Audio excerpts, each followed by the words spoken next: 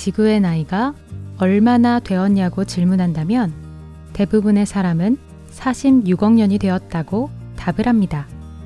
왜냐하면 과학이 그렇게 답하기 때문인데요. 더 정확히는 일부 과학자가 지구가 46억 년 되었다고 해석했기 때문입니다. 지구가 46억 년이 되었다는 것을 부정한다면 과학을 부정하는 사람이라는 비난을 받을 것입니다. 그러나 진실을 알게 된다면 누가 비난받아야 하는지 생각이 달라질 것입니다.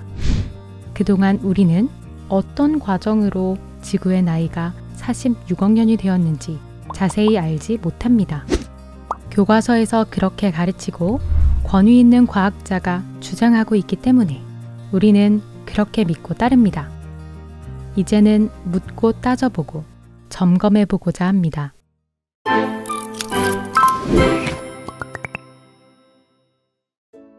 지질주상도는 과거의 연대를 측정하는 아무런 과학적 방법 없이 지구의 오랜 연대를 주장했습니다. 그래서 화석이나 지층이나 지구의 나이를 측정하는 과학적 방법이 필요했습니다. 그 방법이 바로 방사성 동위원소 연대 측정법입니다. 먼저 방사성 동위원소가 무엇인지 살펴보겠습니다. 모든 물질은 원자로 되어 있습니다. 물 한 방울도 흙 한 줌도 우리가 숨쉬는 공기도 모두 쪼개고 쪼개면 원자로 되어 있습니다. 원자는 핵이 있고 그 주변에 전자가 돌고 있습니다. 이것이 모든 원자의 기본 구조입니다. 원자 핵 안에는 양성자와 중성자가 있는데 양성자가 몇 개인가에 따라 원자의 성질이 달라집니다.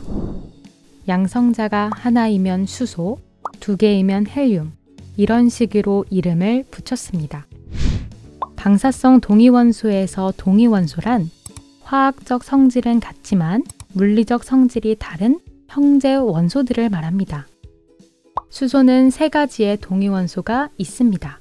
양성자 하나, 전자 하나를 가지고 있는 구조는 같은데 저마다 가지고 있는 중성자의 수가 다릅니다. 양성자 하나만 가지고 있는 수소와 양성자 하나, 중성자 하나를 가지고 있는 중수소와 양성자 하나에 중성자 두 개를 가지고 있는 삼중수소가 있습니다. 원자의 성질은 양성자의 개수에 따라 결정됩니다. 그래서 이들은 모두 양성자가 하나인 화학적 성질이 같은 수소입니다. 그러나 중성자 숫자가 다르기 때문에 무게가 다르고 핵 반응이 다르게 일어나는 등 물리적 성질의 차이가 납니다.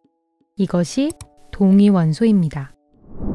방사성이란 원소 중 불안정한 성질을 가지고 있는 원소가 방사선을 방출하면서 붕괴되어 안정된 다른 원소로 바뀌는 것을 말합니다. 수소는 3개의 동위원소를 가지고 있고 이중 3중 수소는 방사성 동위원소입니다. 이제 우라늄을 살펴보겠습니다. 방사성 동위원소로 지구 나이를 측정하는데 먼저 우라늄이 사용되었기 때문입니다. 우라늄도 여러 동위원소가 있지만 우라늄 238만 살펴보겠습니다. 우라늄 238은 양성자 92개, 중성자 146개로 총 질량이 238입니다. 우라늄 238은 불안정한 상태입니다. 어떻게 될까요? 안정된 상태로 변화하려고 하겠죠. 우라늄은 붕괴해서 안정된 상태의 납으로 변하려고 합니다. 우라늄 238이 붕괴해서 납 206으로 반으로 변하는데 걸리는 시간을 반감기라고 합니다. 우라늄 원소 100개 중에서 납 50개로 바뀌는데 걸리는 시간은 45억 년입니다.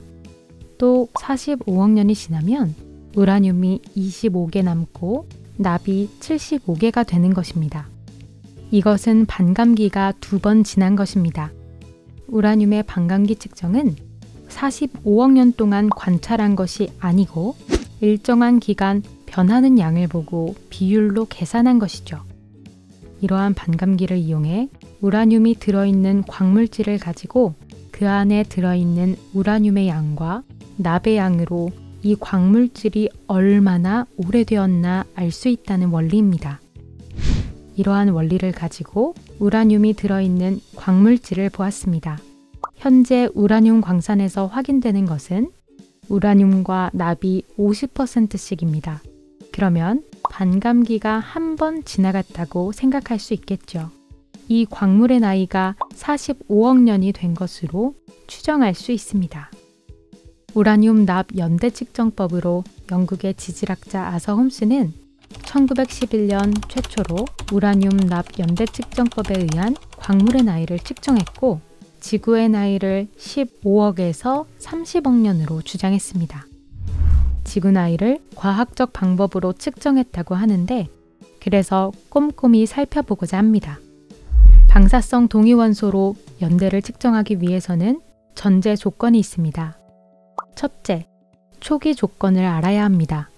광물이 만들어졌을 초기에 우라늄이 100%였는지 50%였는지 전혀 알지 못한다는 것입니다. 처음부터 우라늄과 납이 각각 50%씩 있었다면 이 광물은 만들어진 지 얼마 되지 않았다는 것이 됩니다. 둘째, 반감기 조건을 알아야 합니다. 반감기가 변하지 않아야 합니다. 그러나 최근 연구에서는 반감기가 수백억 년 되는 물질이 어떠한 조건에 의해 단 몇 시간 만에 반으로 붕괴되는 결과를 얻었습니다. 셋째, 현재 상태에 오염되지 않아야 합니다. 현재에 있는 납이 밖에서 들어오거나 나간 적이 없이 100% 방사성 붕괴에 의한 것이어야 합니다. 이 중 가장 문제가 되는 것은 초기 조건입니다. 초기 조건에 따라 수십억 년에서 수천 년의 연대가 결정됩니다. 진화론자들은 진화론에 들어맞는 오랜 연대를 인위적으로 만들어냈습니다. 그들은 방사성 동위원소 연대 측정에 세 가지 문제점을 해결하지도 못한 채 더욱이 초기 조건을 전혀 알 수 없는 상태에서 지구의 나이가 몇십억 년 되었다고 서슴없이 발표합니다. 현재 지구에 있는 우라늄 광산에서 우라늄과 납의 비율은 반반입니다. 우라늄 동위원소마다 반감기가 다르지만 우라늄 238의 반감기는 45억 년입니다. 이것은 관찰된 사실입니다. 그러나 지구가 처음 만들어졌을 당시에 우라늄만 100% 있었을 것이라는 결론은 해석입니다. 이러한 해석이 가능한 것은 지구가 오래되었다고 전제했기 때문입니다. 관찰은 과학적이었으나 해석은 믿음에 근거한 것입니다. 과학과 비과학이 절묘하게 섞여 있는 것이죠. 지구가 오래되었다는 생각은 어떠한 과학적 증거가 있어서도 아니고 추론 과정에 합리적인 논리가 있어서도 아닙니다. 진화론이라는 네모틀에서 모든 것을 보기 때문입니다. 이렇듯 진화론에 근거한 믿음으로 지구의 나이를 발표하자 모두가 다 수용한 것은 아니었습니다. 여기저기서 항의가 있었겠지요. 가장 큰 영향을 주는 초기 조건에 대한 문제점이 계속해서 공격을 받자 진화론자들도 이 문제를 해결하고 싶어 했습니다.